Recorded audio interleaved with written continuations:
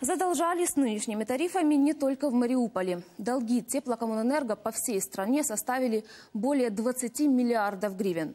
А вот топ-менеджеры «Нафтогаза», то и дело повышающего расценки, получают миллионные зарплаты и премии из бюджета. Сегодня стало известно, что в канун Рождества четыре топ-менеджера компании наработали 2 миллиона гривен премиальных, а в год они в среднем заколачивают по 8 миллионов гривен. Кто премирован и за что? короткой справке. Практически под елочку некоторые топ-менеджеры «Нафтогаза» получили многотысячные премии. В общем, на четверых членов НАПСовета рождественский джекпот составил почти 2 миллиона гривен.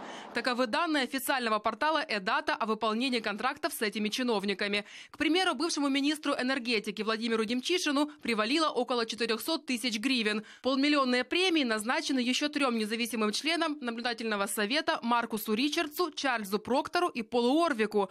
А наклады этим четверым сотрудникам сотрудникам «Нафтогаз» направил свыше 15 миллионов гривен.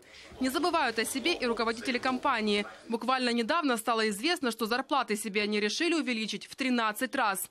Только глава компании Андрей Коболев в месяц получает около 2 миллионов гривен.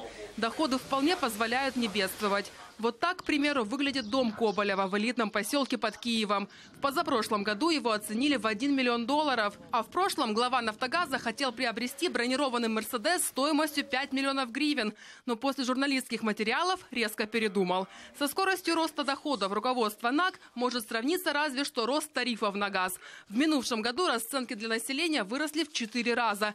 Сейчас тысячу кубов для населения обходится почти в 7 тысяч гривен. Однако в НАК действующий тариф считают считают нерентабельным и настаивают на его увеличении. Проверить деятельность «Нафтогаза», напомню, на прошлой неделе НАБУ и Генпрокуратуру призвали нардепы.